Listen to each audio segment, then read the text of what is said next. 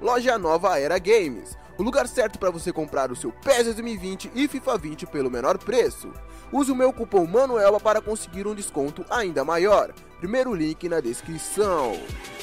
E fala molecadinha, tudo beleza? Aqui é o seu Manuel, bem vamos comigo para mais um vídeo Galera, no vídeo de hoje eu trago a vocês um vídeo do que você deve saber antes de comprar o PES 2021 Na verdade hoje vamos esclarecer tudo, eu não vou falar para você não comprar ou para você comprar. Eu vou falar todos os pontos que você precisa ter em sã consciência antes de gastar os seus 200 reais no PES 2021, né cara? Então fica ligado até o final do vídeo que o vídeo vai ser curto, eu vou conversar, com vocês, não tem roteiro, não tem nada. Eu só vou falar a minha opinião sobre o PES 2021, sobre o que sabemos e como o jogo será lançado, como deve vir já no seu lançamento. Então já deixa o seu gostei aqui abaixo, se inscreve aqui no canal para não perder mais nenhuma informação de PES, tudo que for saindo nos próximos dias eu irei trazer a vocês. Então se inscreve aqui abaixo e bora pro vídeo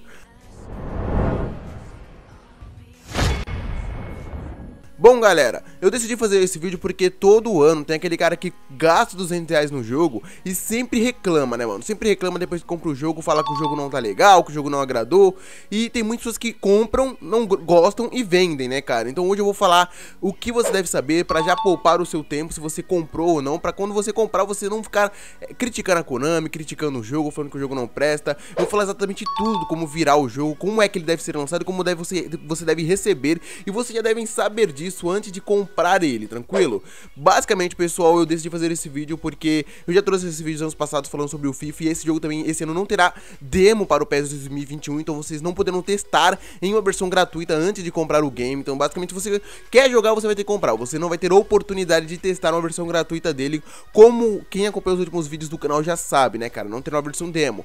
Então, basicamente, quem não viu o vídeo de ontem, basicamente o Rob Room, que é o gerente de PES aqui na América Latina, ele disse que o PES 2021 será basicamente 99,9% do Game PES 2020. Então se você vai comprar o PES 2021, você tem que ter isso em plena consciência. Você tem que saber que o jogo não terá modificações em relação à versão anterior.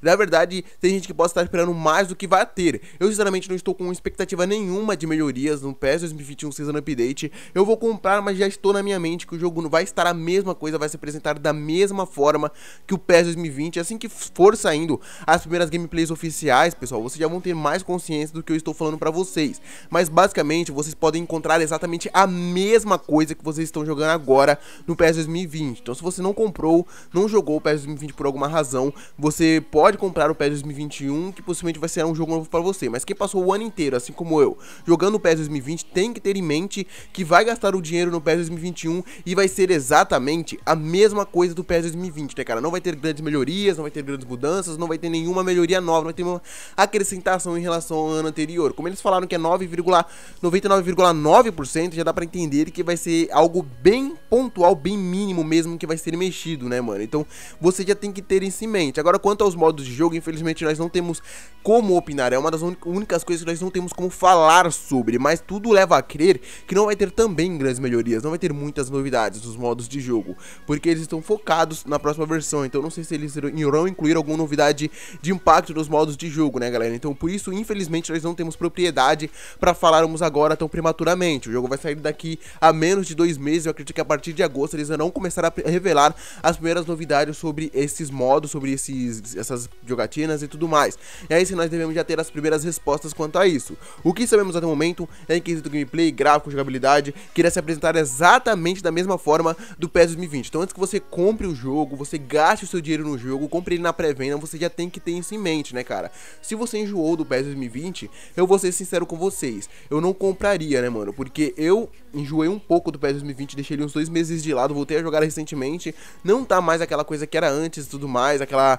Mano, quando eu comprei o PES pela primeira vez, o PES 2020, mano, eu joguei direto por muitas e muitas horas, muitos dias consecutivos. Agora não está mais nesse hype todo, já dei uma enjoada da gameplay do, do jogo e eu já tenho consciência que não vai vir melhorado, mas eu vou comprar porque eu irei mais um ano trazer vídeos pra vocês do game. Mas se eu fosse na minha situação e eu não fizesse vídeo sobre Pro Evolution Soccer, possivelmente eu não iria comprar, né, galera? Porque eu já enjoei um pouco da gameplay, mas eu sei que o que eu comprar, eu sei o que eu vou receber, né, cara? Eu sei que o jogo vai ser igual, eu não vou reclamar, né, mano? Porque o jogo eu já tenho na minha mente que vai ser um PES 2020 com apenas uma atualização de temporada. Fosse com uma versão Legacy que o FIFA lançava para o Xbox 360. Sem melhoria nenhuma, apenas as novas faces poucas inseridas, os novos uniformes e as novas transferências que serão executadas. Então, basicamente, isso irá se basear o game no geral. Por ser atualização de, atualização de temporada, tudo leva a crer que talvez não tenha novidades também nos modos de jogo. E se isso não acontecer, vai ser muito chato, porque vai ser muito difícil a Master League, o Estrelato, o MyClubs sobreviver mais um ano no mesmo padrão do PES 2020. Mas isso é a minha esperança para esse ano, que talvez os modos de jogo venham renovados, que aí sim eu irei jogar o PES por diversão e não por obrigação, entende galera? Se os modos de jogo vierem a mesma coisa, aí sim vai ser bem tenso jogar o PES mais um ano e me divertir com um game que eu já joguei um ano anterior. Então realmente vai ser muito complicado, principalmente a Master League, porque a Master League eu fiz umas seis temporadas da minha primeira carreira e abandonei de vez, né, mano? Agora eu tentei iniciar outra, só que é algo totalmente enjoativo, porque não tem muita coisa diferente de um ano pro outro, e a, todo ano que você passa eles te apresentam a mesma coisa de todos os anos, então não é algo muito diferente, e é algo que enjoa um pouquinho, né, cara? Enjoa um pouquinho, então se eles não mudarem nada, vai ser tenso, né, Konami? Vai ser tenso, então a minha expectativa maior é quanto aos modos de jogo, que eles não mantenham a mesma coisa. A gameplay eu já tenho plena consciência que vai ser a mesma coisa, por isso sim que eu ainda não fiz a minha pré-venda. Eu vou esperar mais algumas novidades saírem e eu vou trazer pra vocês, lembrando que todos os vídeos eu sou sincero, eu falo se vale ou não a pena comprar. É claro que algo que é exemplar feito por parte da Konami, que é invejável, é o quão honestos eles estão sendo com nós consumidores. Eles estão deixando claro que o jogo não terá mudança, que o jogo será basicamente igual. Então isso sim é algo que para mim deve sim ser aplaudido. Eles não estão querendo mascarar as novidades como a EA faz às vezes, né, galera? Aí tenta maquiar, maquiar algumas novidades que não são tão boas assim, não são tão grandes e eles causam um hype desnecessário.